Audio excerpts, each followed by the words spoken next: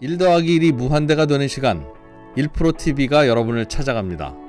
각 분야의 1프로 최고 전문가들이 모여 펼치는 지식의 향연 지금 시작합니다. 1프로TV 꼭 구독해주세요.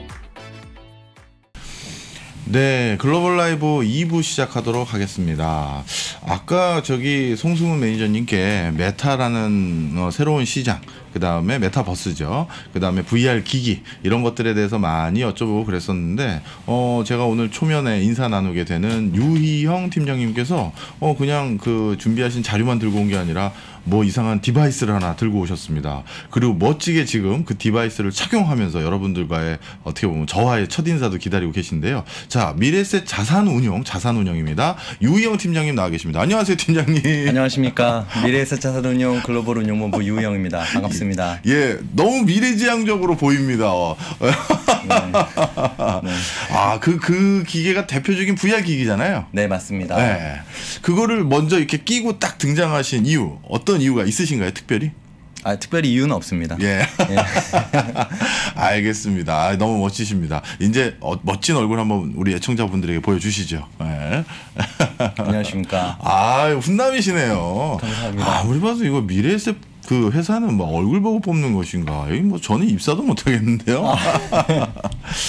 자, 그거 저도 예전에 있었거든요. 그거는 저기 혹시 그 휴대폰 안에 넣는 그 형태는 아닌 거죠? 아, 맞습니다. 아, 이게 그거예요? 교수님은 굉장히 예전부터 이 VR 기기들을 많이 체험하셨던 것 같은데요. 네. 이게 이제 오큘러스나 HTC에서 나왔던 그 제품들은 예전부터 이 디스플레이를 안에 장착하고 나왔었고요. 네. 최근에 나온 요런 제품 아 그리고 나서 삼성전자에서 출시했던 라인업들은 네. 그 핸드폰을 껴서 네. 하거나 아니면 구글에서 사용하던 제품들은 음. 껴서 하는 식으로 했었고 네. 요번에 나온 오큘러스 퀘스트 2 같은 경우는 안에 자체 디스플레이와 음. 칩셋이 있어서 음. 어느 정도의 뭐 낮은 사양의 게임은 요 자체 기기로 어, 또할 그렇게 수 있는 걸로. 예, 네. 상황입니다. 그리고 개인적인 질문 하나 또 드려도 될까요? 네. 저런 거 우리 그 팀장님께서 네. 시장 조사하거나 그럴 때 저런 거 구매할 때 회사에서 지원합니까? 제 돈으로 샀습니다. 아이고 저런 예. 미래스 이 잘 나가는 회사가 말이지. 네. 아 근데 뭐 예, 뭐 네. 다방면에서 또 지원해 주시니까 네, 네. 예. 이렇게 수습하시고요. 알겠습니다. 자, 그러면 오늘 아마 가장 핫한, 어, 마침 저도 궁금했던 분야인데, 이 메타버스 어디부터 오늘 살펴볼까요? 네, 요즘 막 무슨 회사들이 막 대거 쏟아져요. 네, 맞습니다. 사실 제가 오늘 뭐 주어진 시간이 한 30분 정도로 알고 있는데 어. 이 시간 동안 이제 뭐 A부터 Z까지 커버하기에는 좀 쉽지는 않을 것 같아요. 네. 그리고 사실 저희 3프로에서 이 메타버스에 대해서 또 더 깊이 있는 분석이나 시장에 대한 말씀들을 많이 해주셨기 때문에 음. 뭐 제가 거기서 이제 굳이 뭐 더 나아가서 이렇게 말씀을 덧붙일 필요는 없을 것 같습니다. 네. 다만 이제 하나 꼭 당부드리고 싶은 것은 메타버스라는 이름에 현혹이 돼서 음. 메타버스라는 이름만 달고 있는 회사들을 네. 아, 좀 무분별하게 음. 따라가거나 네. 투자하는 것을 좀 조심하시라라는 음. 말씀을 오늘 드리고 싶어서 나왔고요. 그런 과정에서 마- 가능하다면 저희가 이제 이 메타버스 시장에서 어떤 수혜를 얼만큼 받을 수 있을지에 대한 뭐 정말 가늠을 할 수 있는 그런 valuation framework에 대한 부분도 말씀을 드리고 음. 그랬을 때 저희가 좋아하는 좋게 생각하는 종목들에 대해서도 어. 말씀드리고자 합니다. 네, 오, 제일 중요한 얘기해 주시려고 하네요. 가끔 이렇게 뭐가 핫 키워드가 생기면 그거 막 그냥 덕지덕지 붙이는 회사들 생기더라고요. 네. 그래서 참 이거 옥석을 잘 가려야 되는데 아주 귀한 시기에 오신 것 같습니다. 자 그렇다면 결론 저 단도직입적으로 여쭤볼게요. 어떻게 선별해야 됩니까? 아, 예. 이게 이제 그 오큘러스의 그 존 칼맥이라는 그 CTO가 말씀을 네. 하셨어요. 나는 메타버스가 존재하기를 원하지만 메타버스에 곧바로 착수하는 것이 메타버스를 실제로 만들어내는 좋은 방법은 아니다. 음, 메타버스는 추상적인 수준에서 바라보는 사람들을 위한 함정 용어다. 네, 실제로 메타버스 구축에는 GPU, 아키텍처 및 네트워크 용량 효율화 등 기술 작동에 필요한 너트와 볼트 등 세부 사항 구축이 더 중요하다. 음, 근데 제가 이제 이게 참 마음에 와닿았던 게 네. 제가 원래 사실은 IT 애널리스트였습니다. 어. 그래서 이제 2010 2002년부터 CES를 다녔었고 예. 운용 이제 미래에셋 자산 운용에 와서도 뭐 계속 참석을 했었는데 네. 저는 이제 2016년에 나왔던 오큘러스의 첫 제품부터 체험을 해보고 그 이후로 아마 자부하건대 개발자분들 다음으로 많이 이런 AR, VR을 활용한 사람 중에 하나가 아닐까 생각합니다. 근데 이제 저 같은 사람들 입장에서 봤을 때 네. 지금 한 지난 한 1년 사이에 예. 메타버스라는 이러한 밈이 갑자기 급속도로 확산이 되고 예. 이런 것들에 너무 좀 표면적인 부분을 음. 어, 보여지는 보여지는 부분에 혹은 이름에만 이렇게 집착하는 모습들이 아마도 오큘러스의 CTO도 똑같은 생각으로 말씀을 하신 것 같아요. 네. 그래서 이제 저희가 사실은 제가 오늘 그래서 어 메타버스라는 이름만 붙여서 급등하는 종목들의 사례들을 예. 한번 좀 말씀을 드리고자 어, 예, 예. 했는데 네. 했는데. 했는데 이게 이제 뭐 예를 들면 그런 식이죠. 그러니까 제가 여기서 미리 말씀을 좀 드리면 이게 좋다 나쁘다에 대한 얘기가 아닙니다. 예. 그러니까 이 종목이 그래서 좋다 나쁘다를 지금 말씀드리는 게 아니라 예를 들면 어떤 뭐 A라는 게임 회사가 있는데 예. 그 회사가 원래 게임을 가지고 가- 받았던 가치 평가가 뭐 예를 들면 한 2조 원 정도였는데 그 회사가 메타버스라는 세계관에서의 역할이 늘어나면서 10조 원의 valuation이 됐다라고 했을 때 그럼 어쨌든 주가가 한 다섯 배 정도가 뛴 음. 그렇죠. 거잖아요. 네. 그랬을 때 이제 그 주가가 뛰었을 때 그 주가를 올라가게 만든 요인들을 투자자분들 입장에서는 좀 나눠서 분석을 해보시고 음. 그런 다음에 그것들이 본인이 생각해서 계산하시기에는 아, 굉장히 좀 과대평가가 된 것 같다라고 했을 때는 너무나 이런 시장의 흐름에 따라가시지 않고 조금 한 발 물러서는 자세를 가지고 음.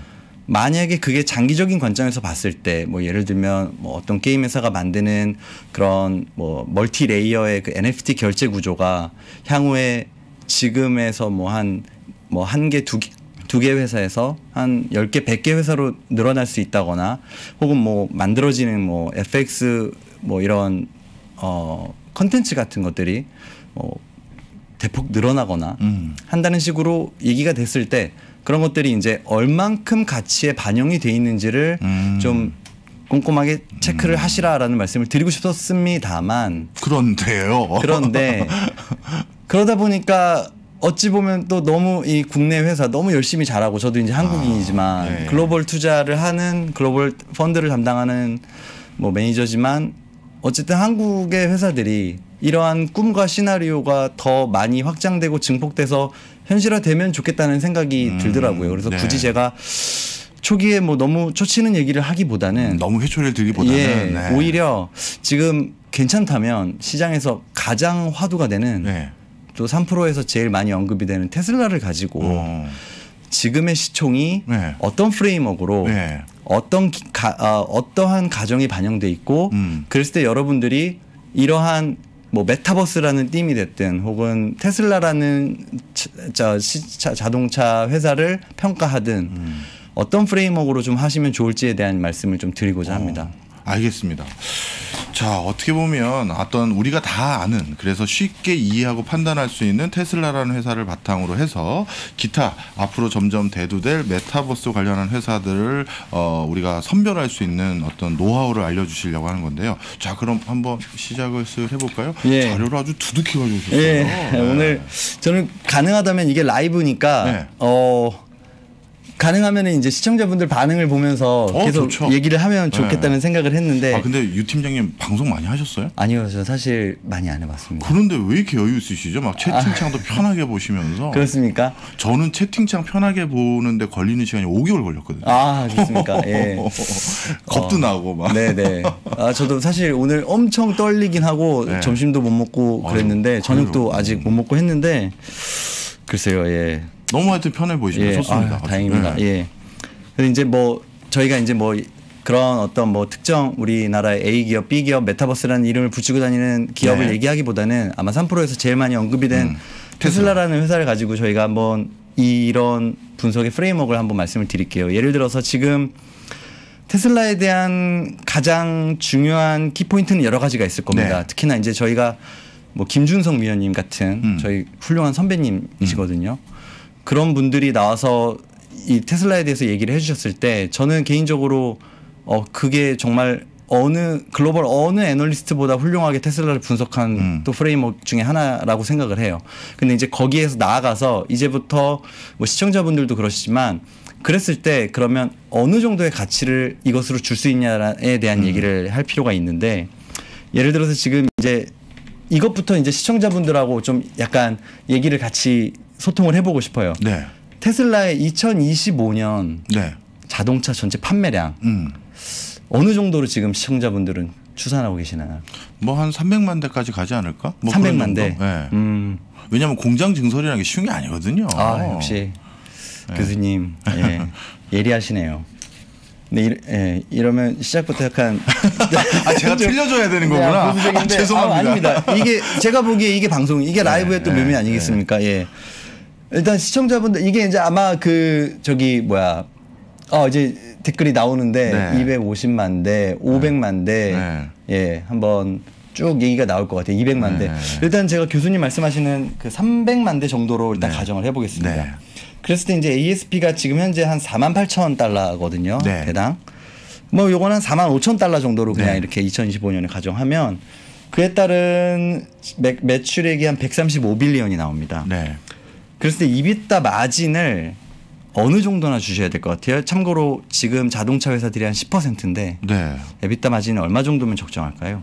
뭐 그냥 통상적으로 다른 자동차 회사랑 비슷하게 잡아야 되지 않을까요? 아닌가요? 음, 이제 이제 이제 10%를 주면은 사실 좀 야박하다고 느끼실 수도 있어요. 왜냐면 김준성 위원님 같이 이제 말씀하시는 그 내용 중에 하나는 테슬라가 배터리 supply chain까지 가져가고 음. 거기에서 원가 절감을 할수 있기 때문에 거기에서 나오는 마진의 사- 상승폭이 더 클 수 있다. 음. 그런 것들이 이제 좀 고려가 돼야 된다라고 보신다면 네.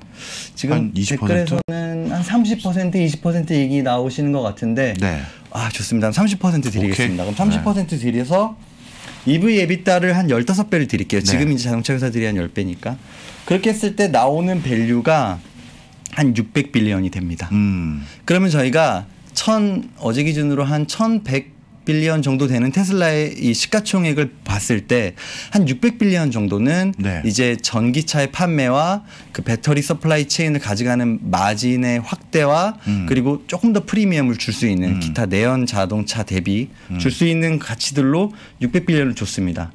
근데 이제 이러면 좀 BMW 같은 업체나 다임러 같은 애들은 좀 억울하긴 하죠. 연간 250만 대 정도 그렇죠. 파는데 시총은 50 billion이고 뭐 GM이나 포드도 한 600만 대 파는데 100 billion이고 하니까요. 근데 어쨌든 그렇게 하겠습니다. 네. 그랬을 때 그러면 나머지 한 500 billion을 음. 어떻게 설명할 것이냐. 아. 그게 이제 시청자 여러분들의 몫입니다. 그렇죠. 어떻게 이거를 imply 할 것이냐. 그에 대해서 이제 제가 그 숫자를 가지고 음. reasoning을 하는 것에 대해서 간단히 한번 그냥 가져와 봤습니다. 예. 예를 들어서 모빌리티 서비스의 전체 시장 규모가 한 1079 US 달러 billion 정도가 된다고 네. 시장에서 추산을 하시더라고요. 예. 그랬을 때 저희가 어 한국에 보면은 한 5,200만 명 인구 중에 운수업자분들이 한 75만 명 정도 있으신 것 같아요. 그러면은 한 1.5% 정도거든요. 네. 그러면 이제 글로벌 인구 대비 한 1.5%를 때려서 그 평균 글로벌 GDP를 때려 보니까 한 1,300빌리언 나오더라고요. 네. 그러면 그 정도면 합리적인 추정이잖아요. 네. 그랬을 때 이제 저희가 이 1,000빌리언 정도에서 사람이 운전을 하는 음. 그 매출액의 그 레비뉴가 아, 그 인건비의 비중이 한 35%가 됩니다. 음. 그러면 한 300빌리언 정도가 이제 그 템 시장이라고 저희가 예. 가정할 수 있는데 테슬라가 예를 들어서 그 자율주행 로보택시를 한다고 했을 때 그 사람 인건비보다는 좀 더 싸게 음. 좀 진입을 해야 될 거니까 네. 그러면 그렇게 한 10%를 가정하고 그 자율주행 자율주행 시장이 한 10% 정도 그 10% 정도의 뭐 마진율을 가져간다고 가정하면 전체 크기가 한 100빌리언 정도 음. 시장이 나오는데 그랬을 때 테슬라의 점유율은 어느 정도라고 생각을 좀 예상을 하세요? 야, 그 자율주행 제일 시장에서. 어려운 부분이네요. 테슬라의 점유율. 이제 막 뛰어드는 업체들까지 있어가지고 뭐 네네. 오늘 아까 잠깐 말씀드렸지만 소니도 한다고 하고 하니 네네. 글쎄요 한 글로벌리 5에서 10 사이. 5에서 10 사이. 예. 그러면 그러면 이제 테슬라한테 들어가는 증분이 네. 뭐 이제 아마 뭐 시청자분들도 좀 얘기를 많이 해주실 텐데 네. 메타버스 얘기 빨리 좀 해달라고 하시니까 아, 예, 예. 짧게 그럼 정리를 그냥 제가 여기서 정리를 예. 하겠습니다. 만약에 그렇게 가정을 했을 때 그에 대한 이익 증분의 EB 에비타를 때리면 음. 만약에 저희가 테슬라가 한 30% 정도의 네. 모빌리티 시장에서 점유율을 가져간다고 했을 때는 한 600 billion 정도가 설명이 되는 겁니다. 음. 근데 이거는 제가 가정하는 게 아닙니다. 지금 여러분들 말씀하시는 데이터를 가지고 이제 이렇게 build-up을 해나가는 음. 네. 거거든요. 그랬을 때 여기에다가 뭐 수- 보험료에 대한 가정들 아니면 뭐 스페이스 X에 대한 가정들 뭐 이렇게 얘기를 하는 것들까지 포함을 해서 음. 만약에 여러분들의 가정이 총 합해서 1300 billion, 1400 billion이 된다고 한다면 음. 그때 가서는 2025년까지 1500billion의 그 시가총액을 가정했을 때 한 3, 40%의 upside를 가지고 가면 네. 그걸로 저희가 그 자동 테슬라를 투자함에 있어서의 중요한 기점으로 삼을 수 있는 것이죠. 음. 그리고 그 와중에 지금 가장 중요한 가정이 되었던 그 자율주행 시장에서의 점유율 같은 부분, 사고율 같은 부분들이 앞으로 여러분들이 좀 주목해서 보셔야 할 데이터인 거고 음. 나머지 기타 여러 가지 부가적인 요인들은 이에 대한 투자에 있어서는 그렇게 중요한 요인은 아니다. 음. 그래서 이제 제가 좀 중구난방으로 말씀을 드린 것 같아서 아니, 너무 죄송한데 흐름을 잡았어요, 뭔지. 예, 그러니까 만약에 테슬라라는 1100billion짜리 회사에 대한 upside를 가정했을 때 여러분들이 생각하는 가치가 얼만큼이 반영이 되어서 거기에서 upside가 얼만큼이 나올지에 대한 부분을 고려하셔야 음. 그것이 진짜로 전기차 혹은 자율주행 혹은 뭐 보험 뭐 이런 전방위적인 비즈니스를 펼칠 수 있는 가능성을 가치 평가에 반영하실 수 있다라는 말씀을 음. 드리고 싶었습니다. 너무 길었네요. 죄송합니다. 아닙니다. 이거 네. 어이씨, 예. 아니 뭐 계속 하면 되죠. 네. 자, 그래서 어떤 관점에서 테슬라의 주가를 우리가 추정하는지에 대한 흐름을 어, 현지 펀 자산운용사의 팀장님께서 한번 짚어주신 거고요. 자, 그 다음에 이제 채팅창에서 계속 기다리고 있는 네. 메타버스. 네.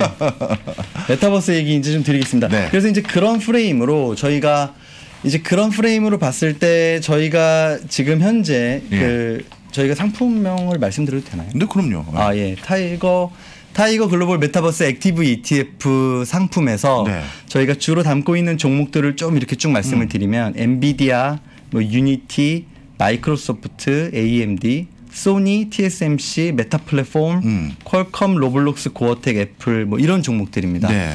근데 이제 지난번에 그 저희 최창기 본부장님께서 예. 감사하게도 이렇게 좀 다 이렇게 저희 비교를 해주셨거든요. 음, 음, 음. 그 와중에 이제 말씀 나온 종목들 중에 이런 종목이 왜 있을까요라는 말씀을 해주셨던 게 소니랑 고어텍 같은 종목이었던 것 같아요. 맞아요. 두 대, 저도 두 개가 좀 의외였습니다. 네네. 그래서 이제 제가 그 부분에 대한 말씀을 좀 드리고자 합니다. 예. 일단 소니에 대한 말씀을 살짝 드리면요. 소니는 사실은 사업부가 참 많습니다. 예. 삼성전자를 좀 떠올리게 하거든요. 음. 사업부를 간단히 설명드리면 game and network service 부분이 한 매출의 29%, 뮤직이 10%, 소니 픽처스가 11%, 전자기기가 한 23%, 이미지 솔루션이 11%, 기타 financial 등등이 한 15% 정도가 됩니다. 네. 굉장히 복합 기업이고요. 그래서 이제 제가 옛날에 반도체 애널리스트를 할 때 삼성전자를 커버하면서 네. 비슷한 동병상련을 느꼈습니다. 어. 뭐냐면 삼성전자를 각 부문으로 나눠서 예. SOTP로 분석을 하면 예. 이총 가치 대비해서 할인이 많이 돼 있거든요. 음. 그러면 이제 국내 매니저분들은 잘 아시지만 해외에 계신 매니저분들한테 제가 이런 말씀을 드릴 때 글로벌 peer들 대비와 비- 대비해서 그 sum of the parts라는 valuation을 써서 각각의 부문을 합쳐봤을 때 삼성전자는 너무 할인이 많이 됩니다. 음. 라고 좀 이렇게 목 놓아 네. 외쳤던 기억이 있는데 사실은 그런 SOTP의 할인율이 디스카운트가 폭이 좁아지는 계기는 예. 각각의 사업 부분이 동시에 좀 잘 될 때인 것 같습니다. 삼성전자 같은 경우에서는 스마트폰과 반도체 시너지가 나는 경우가 대표적인 사례인데 네. 최근에 소니가 그런 모습이 보여지고 있습니다. 음. 지금 소니가 보면은 게임 같은 부분에서는 플레이스타, 플레이스테이션 기반의 콘솔이 있잖아요. 거기에 이제 사실 이 콘솔이 PSVR이라고 하는 그 VR도 같이 있죠. 있고 있는데 이러한 것들이 사실은 이 메타버스 시대에 대한 경험을 미리 소니는 해봤던 노하우 가지고 있는 것들이고요. 네. 거기에 이제 뭐 가도버라든지 라스트 오브 어스라든지 이런 강력한 IP를 보유하고 있죠. 있다는 네. 점. 그리고 뮤직 같은 경우에서는 저희 트래비스 스캇이라고 혹시 음, 들어보셨나요? 예, 예. 그 트래비스 스캇이 이제 얼마 전 포트나이트에서 한 2,700만 명 정도 그 한 45분 공연을 해서 한 2천만 달러 수익이 났던 그런 공연을 했던 그 메타버스 콘서트 했던 뮤지션인데 이분이 또 이제 소니 뮤직 음. 소속이신 거고요. 또 소니 픽처스에서는 스파이더맨 같은 음. 그런 IP들, 네. 애니메이션에서는 귀멸의 칼날 같은 네. 그런 IP들을 가지고 있거든요. 그랬을 때 이러한 플랫폼과 IP와 경험과 역량을 가지고 있다면 음. 저희가 지금 소니 같은 경우에는 SOTP로 분석을 해봤을 때 네. 한25% 정도의 upside가 있습니다. 음. 디스카운트가 있습니다. 음. 그랬을 때 저희는 과거에 삼성전자가 부문이 각 좋아졌을 때의 의그 논리처럼 네. 소니가 그 SOTP의 할인을 축소시킬 수 있다는 생각을 하고 있고요. 나아가서는 그 플랫폼 간의 시너지가 아직 명확히 보이진 않습니다만 음. 그것이 만약 보여진다면 거기에서 저희는 추가적으로 upside를 볼 수 있다라고 생각을 하고 있습니다. 음, 아, 생각해 보니까 진짜 그렇네요. 소니는 여러 가지 이제 이 컨텐츠 비즈니스도 있었었고 디바이스도 가지고 있었기 때문에 메타버스 분야에서 활용할 수 있는 소스가 정말 많은 회사였군요. 제가 그 말씀 주셨던 회사 리스트 중에서 궁금한 거 제가 여쭤봐도 될까요? 아, 물론입니다. 예. 예. 페이팔은 왜 넣으신 거예요? 페이팔이 진짜 글로벌 메타버스냐 하고 이렇게 지도에 PPT 주신 거에 표시가 되어 있던데.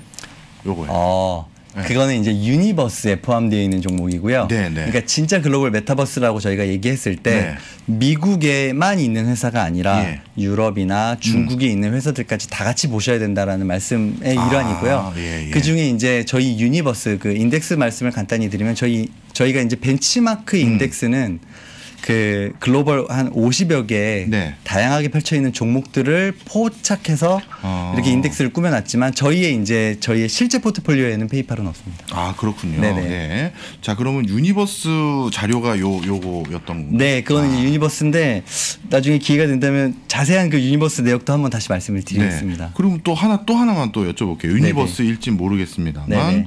어 여기 페이팔은 그렇다 치고 스노플레이크는 또 진짜 메타버스에서 또 빼신 거죠. 그럼. 네, 그렇습니다. 네. 이제 제가 딱 이상하게 생각되는 거 빼셨군요. 네, 알겠습니다. 맞습니다. 아, 사실 교수님이 굉장히 예리하게 지적을 네, 해주신 아닙니다. 건데 저희가 지금 이 종목들 예를 들어 지금 고어텍 같은 경우를 네. 좀 연결해서 말씀을 네, 드리면 이렇게 메타버스 시장이 열렸다라는 것에 대해서 진짜 수혜를 받을 수 있는 종목이 뭐냐는 네. 음. 거죠. 그랬을 때 이제 고어텍 아까 이제 앞에서 말씀을 주셨는데 그 원래는 그 스마트폰이나 태블릿 웨어러블 그 무선 이어폰에 들어가는 소형 정밀 부품을 생산하는 회사입니다. 네. 에어팟도 이제 생산을 하고 있고요. 네. 그리고 이제 주요 매출처는 일단 smart acoustic이 한 40%, 애플의 네. 에- 에어팟이나 기타 음향 기기들, 스마트 하드웨어가 한 29% 정도, 그리고 MEMS 관련 소형 정밀 부품이 한 25%가 됩니다. 네. 저희가 주목하는 부분은 네. 이 오큘루스 퀘스트 제가 지금 오늘 들고 나온 이 기기를 고어텍이 독점 생산하고 있는데 이게 작년에 올한해 기준 그러니까 작년 11월에 출시한 이후에 한 해에 지금 아직 뭐 연간 추산은 안 됐지만 한 1,200만 대 정도가 야, 팔린 걸로 빠르네요. 추정이 되고 있습니다. 저희가 소니 플레이스테이션이 1년에 한 1,400만 대, 500만 대 시리즈별로 통합해서 네. 그렇게 팔리고 그 엑스박스가 한 600만 대 정도가 팔린다고 얘기가 나오거든요. 그렇게 봤을 때 저희가 사실은 이제 2016년에 제가 처음 VR, AR 기기를 접했을 때 이 시장이 정말 클 수 있을까 혹은 그냥 사라질까라고 고민했던 부분이 음. 이젠 chasm을 넘어서서 음. mass market으로 진입을 하고 있다라는 반증인 것이고요. 음. 그렇게 했을 때 이 고어텍이 생산하는 이 제품이 내년에 독점적인 독점적인 생산을 하고 있고 초기에는 생산의 불량 이슈라든지 네. 뭐 이런 것들에 대한 우려가 소- 그 메인 플랫폼 업체들한테서는 더 크기 때문에 음. 만약에 이러한 독점 생산이 추가적으로 수요가 어, 독점 생산이 유지된다는 가정하에 수요가 음. 한 30%에서 40% 이상 증가한다고 하면 이 업체에게 있어서는 이게 훨씬 더 큰 upside가 된다고 음. 판단해서 저희가 active ETF 포트폴리오에는 비중을 높게 positioning을 한 겁니다. 네. 여기서 연결해 가지고 제가 한 말씀 드리면 너희는 왜 페이스북 메타 플랫폼 많이 안 가지고 있어? 네. 이름이 메타인데 네. 왜 걔네를 그렇게 상대적으로 낮은 비중으로 가지고 있어라고 말씀을 하시는 예. 분들이 있는데요. 저희가 이 포인트에서 저희는 이 글로벌 메타버스라는 테마가 더 많이 upside를 가져갈 수 있는 종목을 좀 active하게 선별을 한 거거든요. 음. 무슨 말이냐면 페이스북은 물론 좋은 회사입니다. 네. quality가 굉장히 좋은 회사고 전 세계 뭐 30억 명 이상의 MAU를 가지고 있는 회사고 뭐 quality나 valuation 측면에서는 말할 것도 없습니다. 다만 저희가 우려하는 건 그겁니다. 페이스북이 메타버스라는 시장에 이렇게 공격적으로 투자를 하고 진출을 함에 있어서 페이스북이 이를 통해 가져갈 수 있는 upside가 얼마일 것이냐. 음, 그런 부분에 대한 고민에 이어서 음, 지금 페이스북 같은 경우가 페이스북의 그 리얼리티 랩스라는 사업 네. 부분이 있는데 여기가 이제 그 AR, VR 생태계를 좀 확장시키는데 에, 역할을 예. 하는 부서거든요. 여기가 지금 여- 연간에 한 10 billion 정도가 적자가 납니다. 음. 페이스북의 에, 메타 플랫폼의 연간 이익이 42 billion인데 음. 저희는 이 부분을 주목을 하는 거죠. 메타 플랫폼이 연간 10빌리언씩 쓰면서 MAU를 지금 정체되고 있는 MAU를 늘리기 위해서 노력을 할 때 만약 그러한 생태계를 확장하기 위한 노력이 이러한 기기들 음. 혹은 이 가상 환경들에 투자가 되는 거라면 그 투자가 몰리는 곳에 그 비중을 늘려야 되지 않겠냐. 음. 그게 저희한테 있어서는 고어 테이크였던 네, 거고요. 네. 뭐 비슷한 관점으로 하나만 더 말씀드리면 아까 애플도 이제 말씀해 주셨어요. 네. 사실 애플도 굉장히 대단한 회사입니다. 음. 전 세계 13억 명의 iOS 사용자들을 바탕으로 제품 하나 내놓으면 내 돈 가져가 하면서 이제 사달라고 네. 사- 팔아달라고 요청하는 사람들이 너무 많거든요. 네. 근데 저희가 애플이라는 회사가 그렇게 메타버스라는 세상이 열렸을 때 그 안에서 가져갈 수 있는 upside를 봤을 때 만약에 그것이 애플이 출시될 수 있는 XR 기기, 뭐 AR이나 VR 기기로 구현이 된다고 한다면 지금의 에어팟이나 애플 와치처럼 애플 전체의 시- 어, 매출에 미치는 영향은 10% 내외 정도에 불과할 겁니다. 네, 네. 근데 저희는 그 관점에서 만약에 그 upside가 그 supply chain 애플이 구축하려는 생태계에서 더 큰 upside가 보여지는 기업이 있다면 음. 그것이 럭스쉐어라든지 음. 써니옵티컬 같은 그런 메인 그 supply chain에 있는 기업들로 음. 향유를 할 수 있지 않을까 해서 사실은 애플이 4%밖에 없지만 네. 그 나머지 기업들로 인해서 저희는 애플이 생각하는 메타버스 플랫폼의 그 upside를 가져간다라는 아. 전략인 거죠. 예. 아, 역시 투자할 때는 맞아요. 우리가 시장만 추종하려면 무엇하러 이렇게 방송 보고 하겠습니까? 그죠? 방금 같은 그런 전략과 어떻게 보면 투자의 혜안들이 필요한 건데 오늘 메타버스도 저희가 배웠지만요. 팀장님 덕분에 어떻게 기업의 평가를 하고 또 어떻게 그 평가된 후보군 기업 중에서 뭘 선택해야 되는지 굉장히 중요한 힌트를 얻은 것 같습니다. 예. 이제 좀 자주 나오시죠? 예. 아, 제가 오늘 너무 벌써 시간이 다 됐죠. 네, 그 특히 그 오프닝 때부터 저거 쓰고 나오셔서 굉장히 익사이팅했습니다. 아, 예. 아, 저도 이제 아, 너무 죄송합니다. 시청자 여러분. 아, 아니에요. 제가 처음이다 보니까 드리고 또 싶은 말씀이 돼요. 참 많았는데 오늘 너무 두서없이 말씀을 드린 것 같아요. 근데 만약에 이제 저희가 이런 식의 프레임워크와 관점에서 저희가 좀 더 액티브하게 메타버스의 수혜를 볼 수 있는 기업들을 선별해서 투자를 네. 하고 그렇게 포트폴리오를 짜는 것에 대해서 좀 믿음을 주신다고 음. 한다면 그런 것들에 대해서 뭐 좀 예, 인정해 주시면 감사할 것 같고요. 네. 기회가 된다면 제가 오늘 말씀 못 드린 뭐 나머지 기업들에 대한 네. 얘기라든지 네, 또뭐 기회가 또 된다면 이제 뭐 테슬라에 대한 얘기들도 네, 뭐 굉장히 중요한 화두 중에 하나니까 네.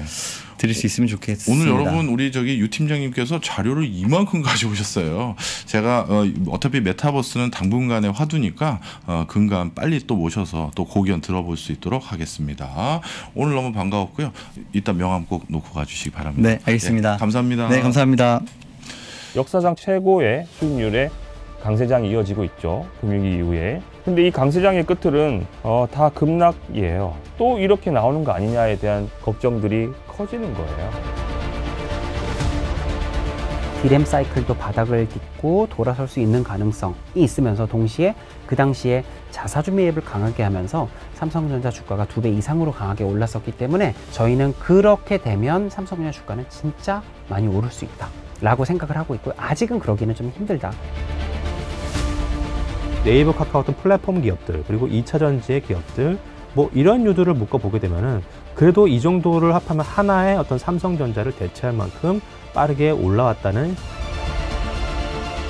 어, 명품이 백화점에서 구조적으로 성장해주는 유일한 품목이기 때문에 신세계의 고성장이 굉장히 눈에 띄었던 해였습니다. 지금 보는 이 가치평가 프레임이 네, 붕괴한다라고 생각하는 거고요. 가치평가 프레임의 붕괴라는 것은 쉽게 얘기하면 기존 산업이 붕괴하는 것을 의미한다라고 저는 생각을 합니다. 내가 주식을 능동적으로 분석하고 끌고 가야 되는 거지 끌려다니는 것만큼 스트레스를 받는 게 없고 에너지가 소모되는 게 없거든요.